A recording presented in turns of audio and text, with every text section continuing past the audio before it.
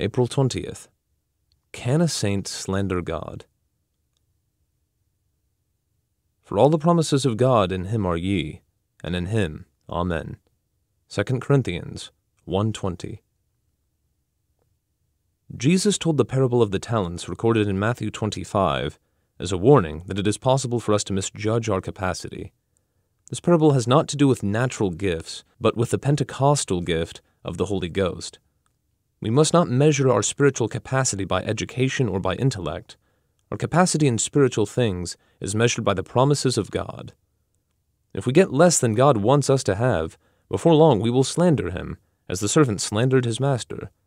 You expect more than you give me the power to do. You demand too much of me. I cannot stand true to you where I am placed. When it is a question of God's Almighty Spirit, never say, I can't.